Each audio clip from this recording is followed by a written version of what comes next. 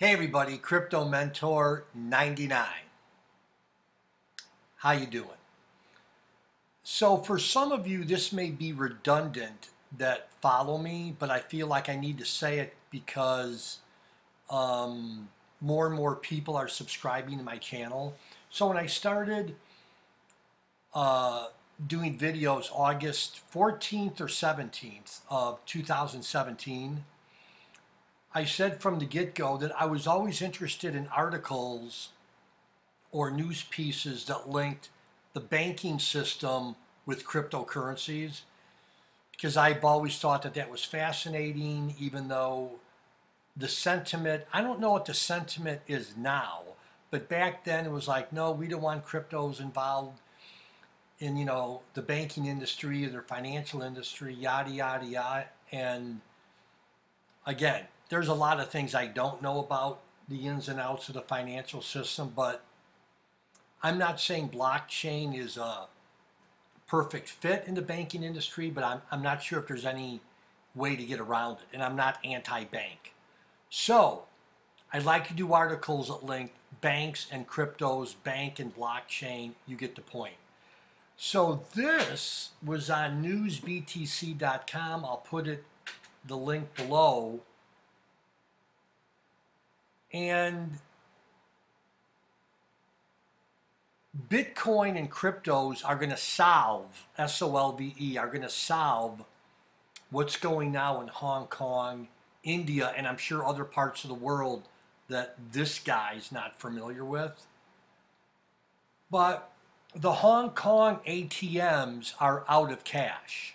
Now, granted, maybe that's not all of them, but a large majority are out of cash. And there's some panic, or a lot of panic, in India on some bank runs. So, this article starts off by saying as the violence in Hong Kong, Hong Kong continues to grip the island state, it is the innocent that usually suffer first. Video leaks over social media recently showed intensifying attacks from both sides as the situation sparks out of control. I listen to one, two, three news pieces every night on China and Hong Kong. So again, this link will be below. People are waiting in lines, long lines for the ATM. And not this article, but I read, was it last night, an article that on a lot of these ATMs in Hong Kong where you could, the minimum withdrawal in US dollars was like $1,500. They decreased that to the equivalent of 38 or $35 a day. Huge decrease. They're running out of cash. So Carrie Lam if you don't know who Carrie Lam is, Google her. She is um, not the president of Hong Kong, but um, not ambassador. But she's on the news a lot about. Um, she's like the spokesperson for Hong Kong. I don't know that much about it. I don't want to get too far off the subject, but Carrie, it's a woman, Carrie Lam. And then in India, I saw some chatter on uh, Twitter yesterday, like there's in India run on banks. And I'm like, no, man, like I know some people over there. And again, this, this article, which I'll put in the description below, India is also suffering its worst woes, which are primarily economical. According to reports of Reserve Bank of India, right, Reserve Bank of India slashed its year growth forecast by nearly a full percentage point on Friday. Rate cuts have also occurred as the economy slows and concern grows among its billion plus population.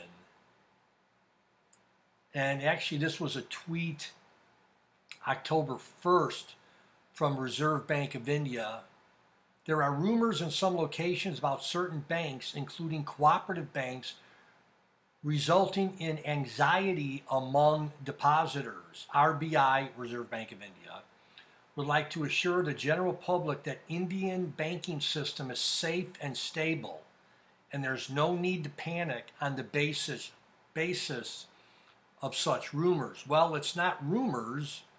There have been run runs on the bank in India.